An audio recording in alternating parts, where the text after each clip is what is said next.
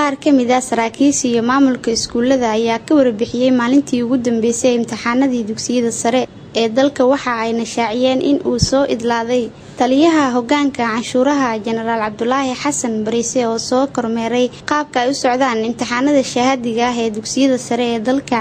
Shir jaraayid oo ku qabtay dugsiga amiin nuur ee degmada wardhigley taliyaha ayaa sharaxay qaabka ay ardayda u galeen imtixaanada oo uu ku ammaanay horumarka ay ku tillaabsatay dowladda soomaaliya. Jenaraalka ayaa hoosta ka xariiqay in ciidamada ilaalada ka ahaa xarumaha imtixaanada lagu sida aad hadda u jeedaan goobtan aan joogno waxay ka mid tahay goobihii imtixaanka dugsiyada sare ay ku gelayeen ardada magaalada muqdisho qaar ka mid a iskoolkan waxaa la yidhaahdaa iskoolka sare ee amiir nuur.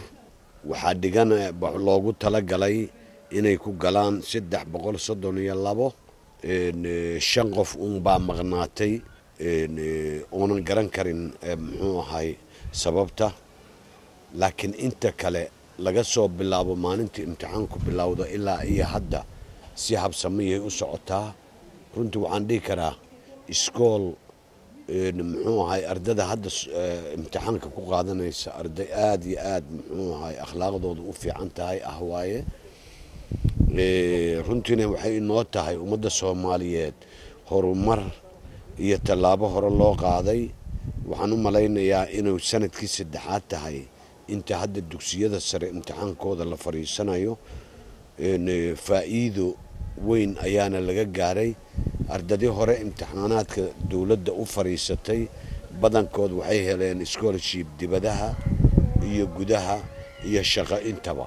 Kuwaanna waxaan u rajaynayaa nasiibkaas iyo mid ka wacan in ilaahay ugu dhammaystiro waxaan dhihi karaa waa iskoolka markaan fiirinay meelo buuqbuuq ka dhaca waa jira ardadu buuqday laakiin iskoolka ugu akhlaaq badan.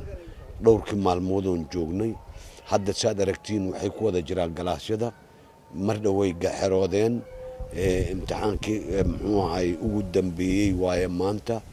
Insha allah waxaan u rajaynaa iyagana sida ay u dadaaleen oo ka muuqata waxbarashadoodii iyo akhlaaqda qaadka ardanimada looga baahnay.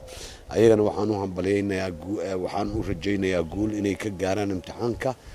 Annaguna muxuu ahay waxaan u mahad celinaynaa macallimiinta iyo ardada ku dadaalay inay annagu maadaama aan qaabilsannahay amnigoon iskuulaad badan kormeeraynay amniga sida wanaagsan ay noogala shaqeeyeen waxaan kaloon hambalyo u diraynaa waalidiintii ay ka ag yimaadeen oo ayaguna ku soo ababiyey akhlaaqda iyo wanaagga hadda ardadan ka muuqata. Qabtay aysan wax carqalado ah kala kulmin islamarkaana aysan jirin wax isdabamarin ah ayna ka qayb galeen tiradii loo qorsheeyey. Macalimiinta iyo intii sabtiga ahaa imtixaanku waxba nagama aysan daahin si wanaagsan oo jawi degan ayuuna noogu socday ilaa sabtigii ilaa maalintii axadda oo aan roobkii fasax ka ahayn maalintii kaleeto oo dhan si jawi degan ayuu ku socdaa arrintii. Ilal aanadan hadda la joogo ay fasalada ku jiraan ardaduna si degan bay u socdaa imtixaanku. Annaga ka madarasadan amiir nuur ka madrasa ahaan alxamdulilah ilaahay wuu noo fududeeyey.